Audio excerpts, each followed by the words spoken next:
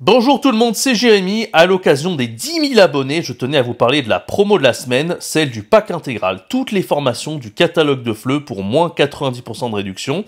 C'est la réduction la plus importante que j'ai jamais faite depuis que j'ai lancé cette activité pour les profs de FLE.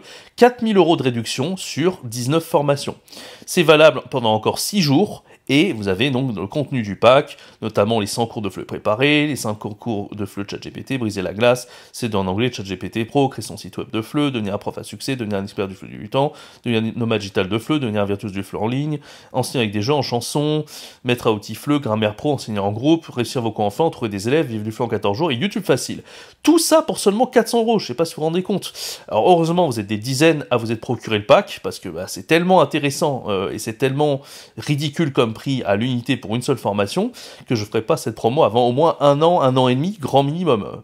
Euh, parce que bah faut pas exagérer, c'est tellement donné, tellement cadeau, que voilà. En tout cas, euh, on se retrouve avec la vidéo du jour, et je vous dis, je vous rappelle, encore 6 jours pour profiter d'une promo aussi exceptionnelle. C'était Jérémy, et je vous laisse avec la vidéo, la vidéo du jour, pardon, c'était Jérémy, ciao, bye bye.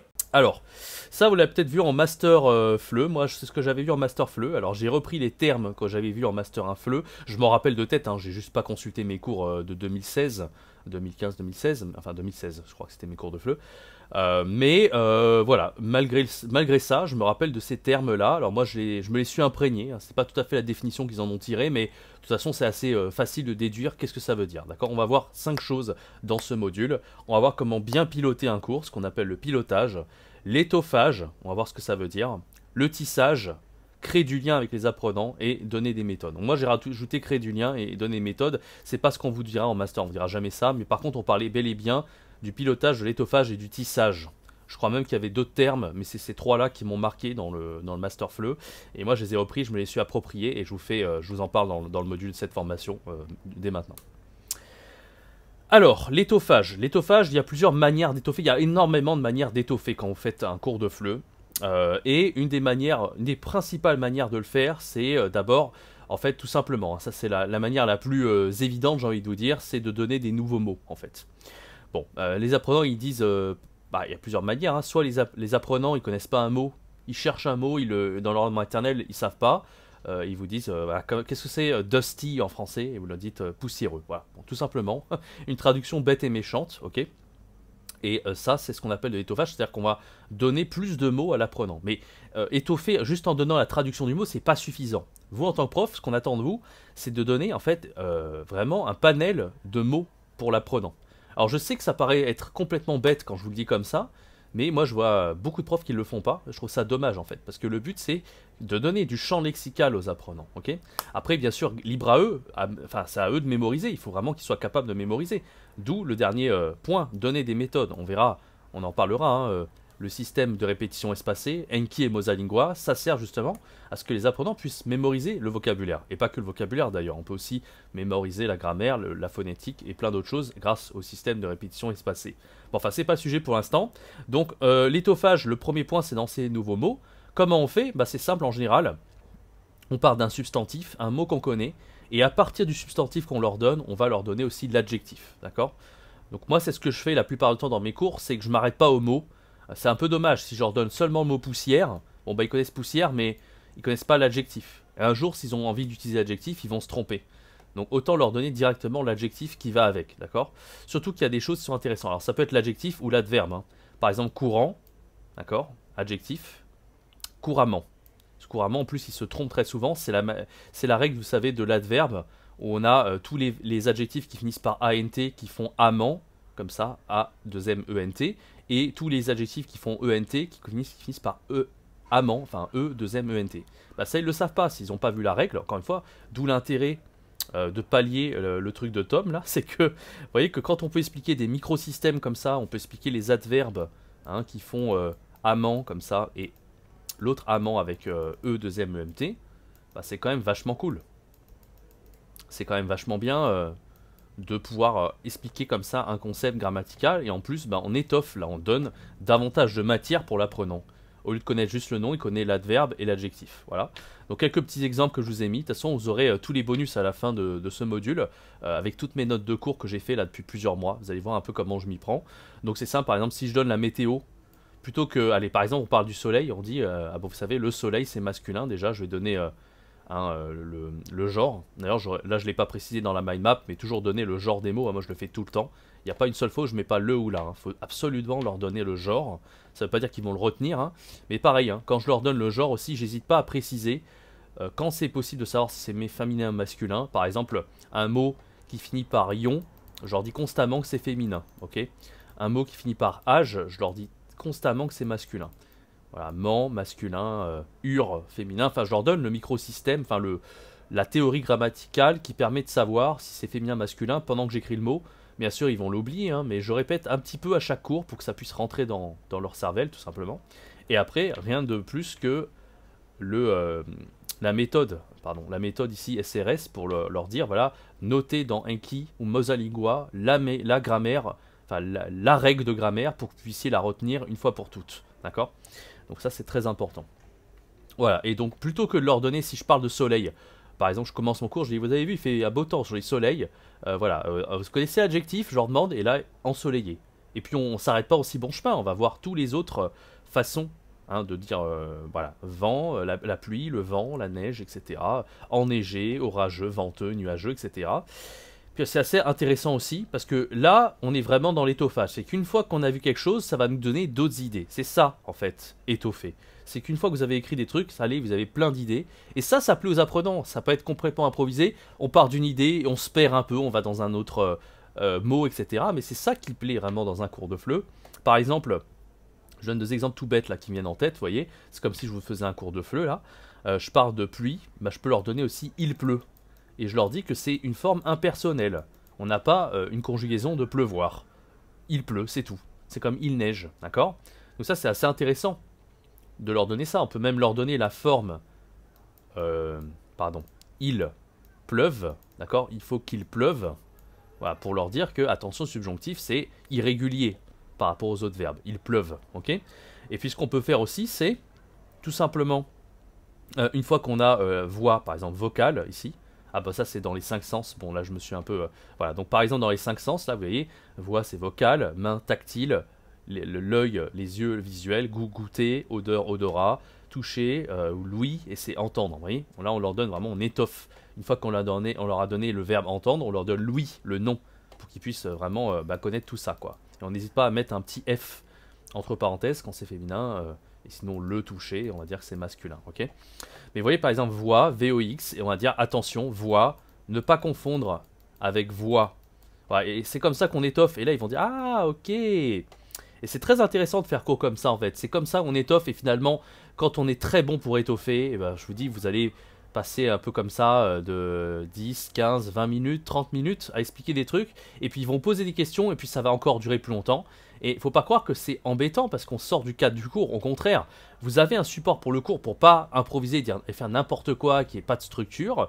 Mais une fois que vous sortez du cadre, vous répondez véritablement aux questions des étudiants. Et c'est ça qui est intéressant. C'est un peu comme si vous faisiez un live sur YouTube ou Instagram, vous répondez aux questions de la communauté. Et ça ne peut que intéresser les étudiants. Parce qu'en plus, souvent, il y a des étudiants qui ont des idées de questions et d'autres étudiants qui n'auraient pas eu cette idée. Donc c'est pour ça que le cours de FLE devient si intéressant de cette manière. D'accord? Donc voilà, la première manière d'étoffer, c'est en donnant euh, plein de nouveaux mots, c'est-à-dire en partir du substantif, vous donnez l'adjectif et l'adverbe, euh, ou à l'inverse, vous avez d'abord un adjectif, vous donnez le substantif, l'adverbe, ou l'adverbe, l'adjectif, le substantif. Voilà un petit peu la première manière euh, de le faire. Et moi, vous voyez, dans le document que je vous ai donné en bonus, il y a pas mal de choses où j'écris comme ça, vous voyez que je mets toujours les féminins, les masculins un peu partout. Et voilà. Et je l'écris un peu, voilà, je suis pas obligé de l'écrire ultra soigné non plus. L'idée, c'est qu'ils aient une trace écrite, hein, une trame. Et bien sûr, ils l'écrivent aussi de leur côté pour mémoriser. Hein. Mais moi, je, leur donne quand même vraiment euh, bah, la trace écrite. En plus, il faut savoir que les apprenants, ils font des erreurs aussi en réécrivant.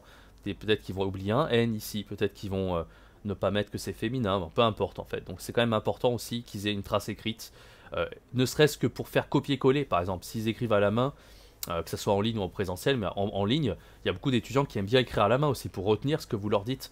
Et donc, par exemple, bah, l'inconvénient d'écrire à la main, c'est qu'ils vont pas pouvoir rentrer les mots facilement dans Equibosa Lingua, alors que si au moins ils ont euh, le fichier PDF que leur donnez, le document Word, ils peuvent faire copier-coller directement dans l'application SRS. C'est ça le gros avantage, d'accord?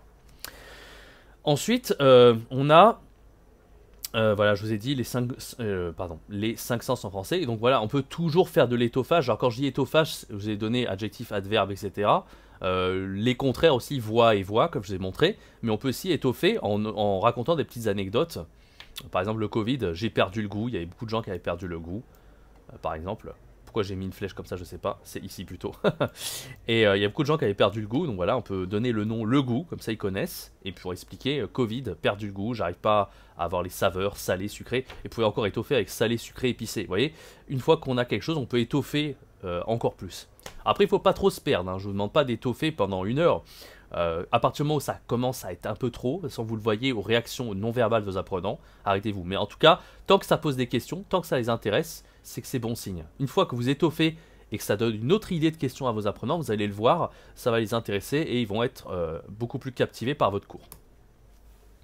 Donc voilà, au, niveau de l'enseignement des autres mots, on a vu hein, euh, les différentes façons, substantif, adjectif, adverbe, mais on a aussi, euh, des fois, ça peut arriver, un substantif donne l'idée d'un autre substantif du même genre. Par exemple, voilà, les, contraires, je vous les donné, hein, avec, alors, voix et voix, ça c'est les homonymes, donc ça peut être des homonymes, ça peut être aussi des contraires, sain, le contraire c'est malsain, d'accord?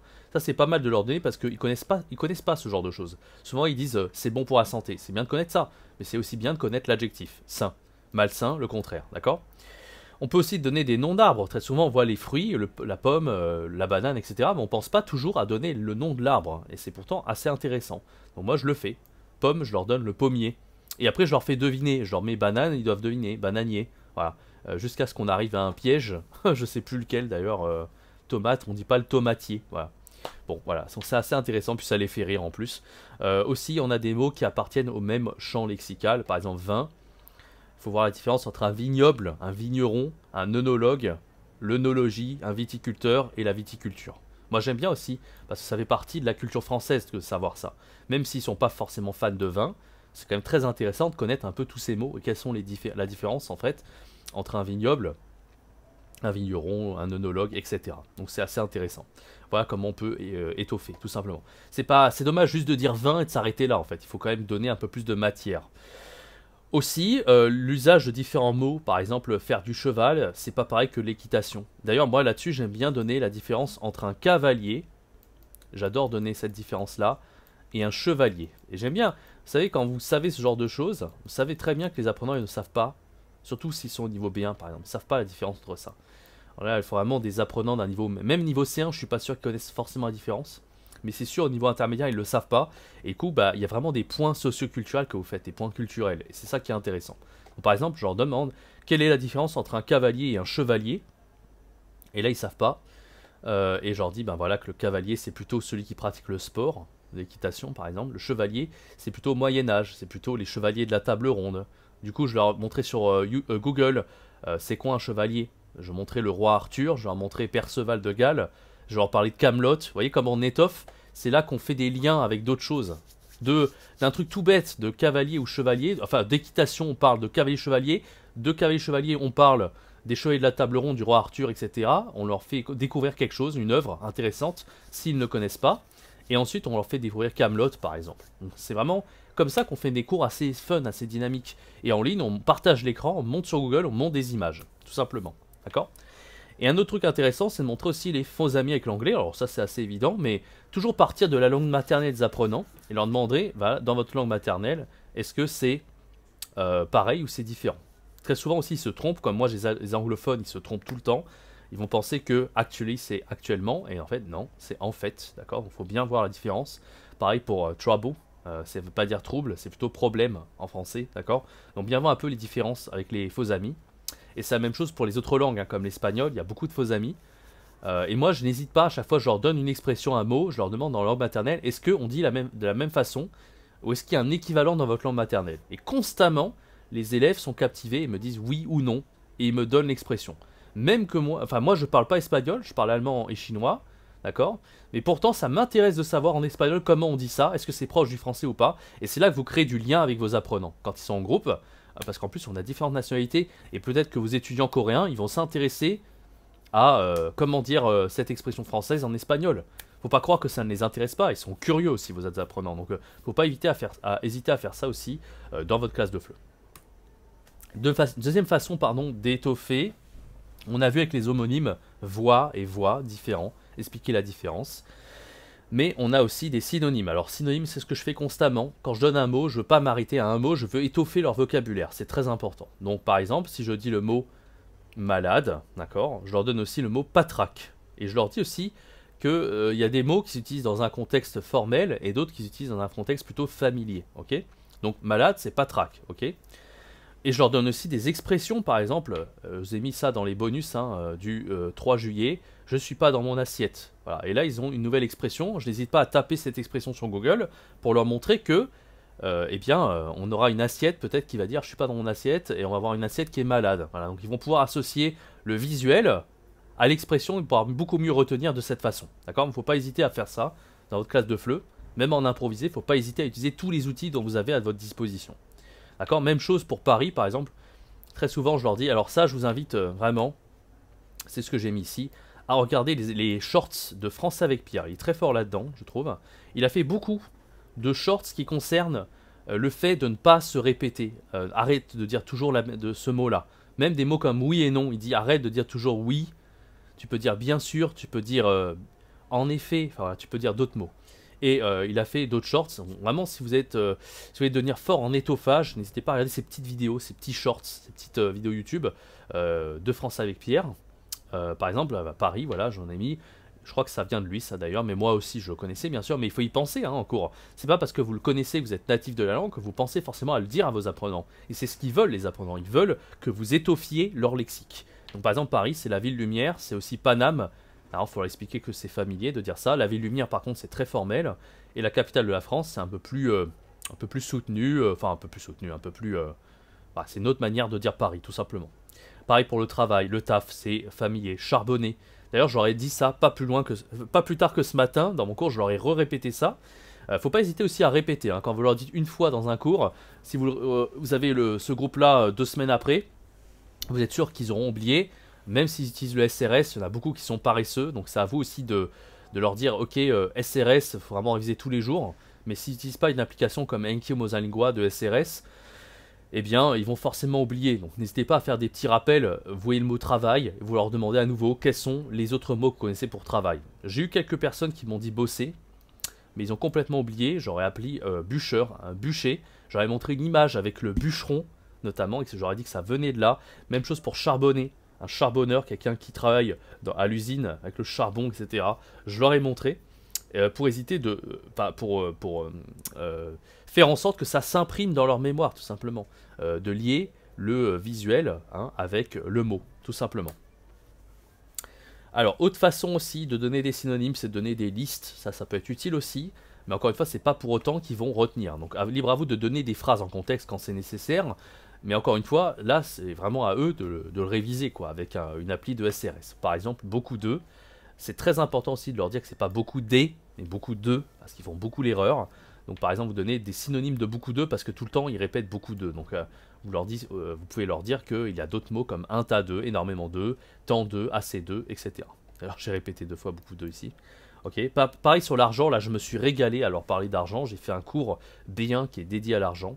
Il y avait une ressource sur par rapport à ça, mais moi j'ai fait, euh, j'avais le manuel de grammaire, j'avais plein d'autres ressources sur la sur l'argent, le manuel de vocabulaire pardon, et euh, j'aurais donné à Maudit pas mal de synonymes de l'argent par rapport à la chanson des inconnus qui s'appelle les Raptous, d'accord? Moi c'est une chanson que j'aimais beaucoup étant enfant, donc en fait j'aurais donné tous les mots et ils ont bien aimé. j'aurais dit voilà l'argent c'est le pognon. les sous, les moyens financiers, l'oseille, le fric, enfin tous les mots dont on parle dans cette chanson. J'aurais même dit le flouze, et là c'est intéressant, j'ai une apprenante syrienne qui m'a regardé, qui m'a dit Oh, le flouze Eh bien, vous savez, en arabe, c'est l'argent, effectivement, ça vient de l'arabe. Et ouais, c'est comme ça vous créez un peu des, liens avec vos apprenants, c'est de voir en fait que vous êtes cultivé, vous êtes curieux, et que euh, vous intéressez à leur culture aussi. Euh, alors moi, je ne savais pas véritablement que le flou ça venait forcément de l'arabe, mais euh, en plus vous apprenez des choses en tant que prof en étant connecté aux nationalités de vos apprenants. Donc ne pas hésiter à reprendre ces mots qui sont d'originaire de la langue d'origine des apprenants. Alors si vous ne le savez pas, ça peut être le hasard, hein, mais vous voyez que plus vous essayez de d'étoffer, et plus vous arriverez à faire des liens avec vos apprenants de cette manière. Même chose avec le fric, c'est chic. quand je leur parlais de fric, j'aurais montré la chanson. J'ai joué la chanson comme ça sur, sur YouTube. Puis ça les a bien fait marrer. Et puis ils ont dit Ah oui, c'est vrai, cette chanson-là, je l'ai entendue dans beaucoup de films, etc. etc. Autre façon d'étoffer, c'est de donner des expressions. Donc il y a des expressions, il y a pas mal de types d'expressions. Par exemple, les expressions formelles. Euh, ça a fait un flop, par exemple, raconter des conneries. Moi j'aime bien leur donner ça parce qu'évidemment c'est ce qui retient le mieux. Hein. Tout ce qui est informel, tout ce qui est vulgaire, tout ce qui est familier. Alors c'est pas du bon langage, mais ils sont. Pour moi, c'est quand même un, il y a un intérêt pédagogique à leur donner tout ce qui est vulgaire et familier parce que de toute façon, ils vont l'entendre dans la vie de tous les jours, ils vont l'entendre dans la rue, ils vont avoir des amis qui vont parler comme ça, euh, français. Euh, et puis c'est important aussi pour qu'ils puissent s'imprégner de la culture française tout simplement. Bon, moi j'hésite pas aussi à leur donner des expressions formelles euh, ou alors euh, imagé. Voilà, pas mal d'expressions. Ça, c'est pas mal pour étoffer leur curiosité et leur vocabulaire. Des expressions comme euh, être bourré, avoir la gueule de bois, se mettre la gueule à l'envers. et ça, je leur donnais aussi. on avait fait toute une discussion sur l'alcool. J'aurais donné les expressions comme ça, et puis ça les a fait bien marrer. J'aurais montré le signe, vous savez, où vous, vous mettez, vous serrez votre poing et vous tournez votre poing sur votre nez. Et j'aurais demandé à votre avis ça veut dire quoi, et puis ça savait pas trop, et finalement j'aurais dit bah ça veut dire être être ivre, tout simplement. voilà. Et euh, les expressions comme j'en ai ras le bol et j'en ai ras la casquette, c'est la goutte d'eau qui fait déborder le vase aussi, on a. Bah, je n'hésite pas à leur montrer des images sur Google. Par exemple, la goutte d'eau qui fait déborder le vase, ils voient un vase qui est en train de déborder. Ils comprennent tout de suite, instantanément, le pourquoi de l'expression. Faut pas hésiter à taper vraiment ces expressions-là sur Google, parce que ça les, les aide grandement à, à, retenir, tout simplement. Voilà, après on a les expressions formelles. Euh, j'ai écrit là, l'astuce, je viens de vous le donner. Mais on a aussi des expressions formelles, les expressions imagées notamment. Ce film, c'est un navet. Pareil, si vous tapez sur Google, vous verrez une image de navet qui regarde un film au cinéma. et ça les a fait rire parce qu'ils ont tout de suite compris en fait. On a joué du pipeau, joué de la flûte, euh, percé, on vient une star. Euh, essayer de faire comprendre les expressions imagées, c'est toujours bien quand on tape sur Google parce qu'on a le verbe percer et ensuite on, fait des gestes, on essaye de, de, dessiner, on essaie de se battre pour les faire comprendre sans avoir à traduire par l'anglais. Ça, c'est très important, d'accord euh, Voilà, on a deux expressions comme faire euh, fondre comme neige au soleil, ça c'était pas mal par rapport à l'argent et le thème de l'inflation. Avoir deux mains gauches, c'est pas vers ça ici, quand on gaspille l'électricité. Pas mal sur le thème de l'écologie, celle-là. Avoir le melon, ça peut être pas mal si on parle des expressions sur les fruits et légumes. J'avais fait des cours là-dessus, justement. Alors, je disais rouge comme une tomate, avoir le melon, un navet, justement.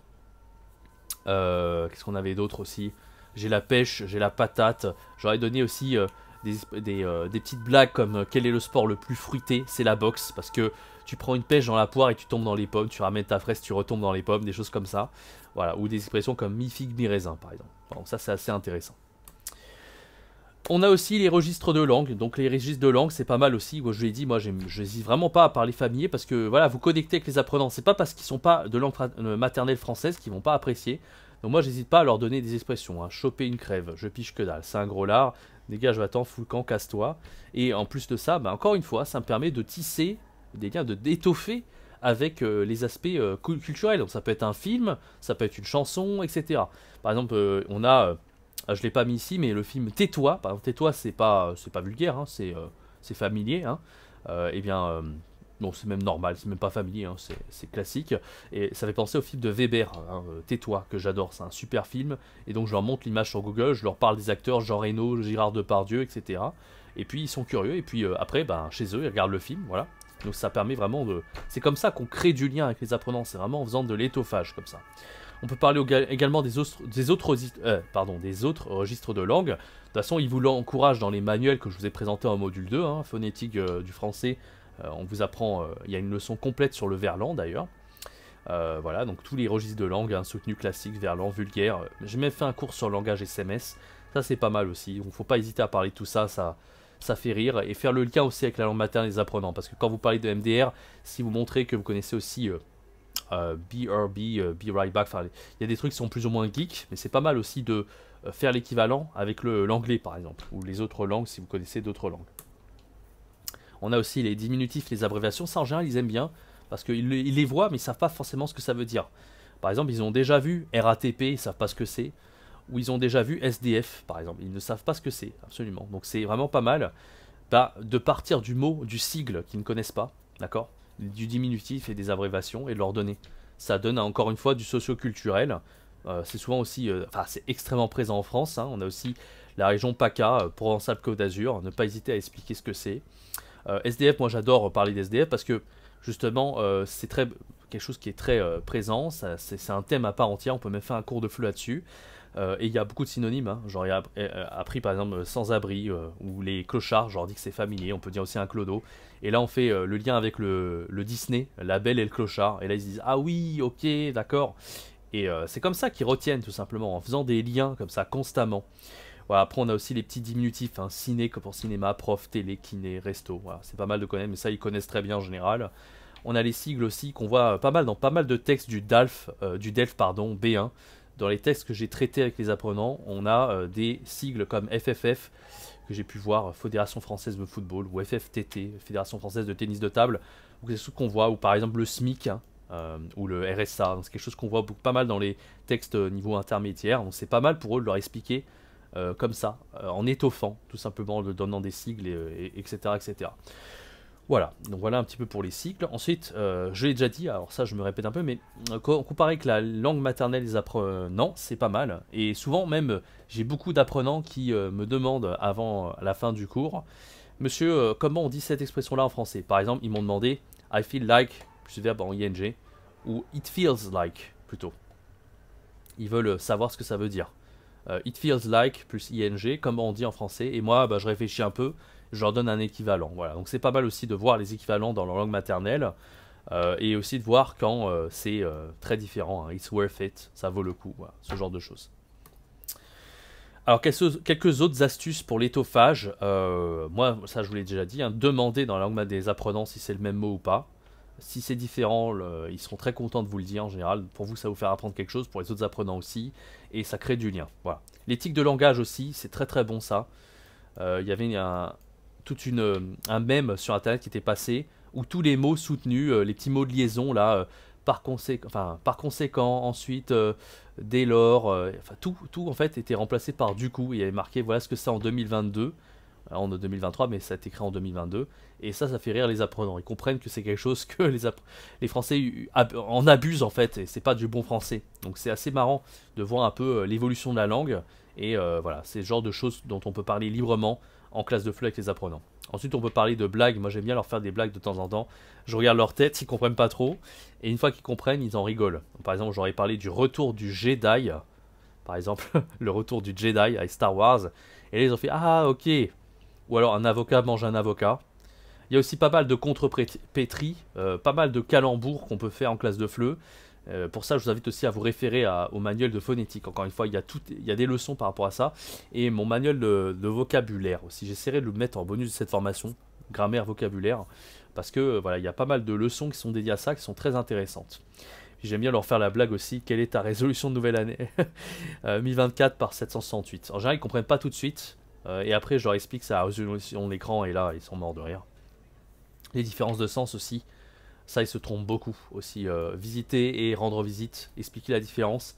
Moi, j'hésite pas à coupler ça avec de l'humour pour qu'ils rigolent encore plus. Par exemple, je leur dis si tu dis je visite ma soeur, c'est un peu euh, j'explore le corps de ma soeur. Genre, je leur explique c'est un peu creepy, c'est un peu un peu bizarre de dire ça. Euh, et donc ils se trompent plus jamais à partir de là. Ils disent oh là là, rendre visite, ok, il faut que je fasse attention. Rendre visite à quelqu'un, ça marche avec un COI, c'est transitif. Euh, et visiter c'est euh, un, pardon et visiter c'est transitif ça marche avec un COD je dis je visite la tour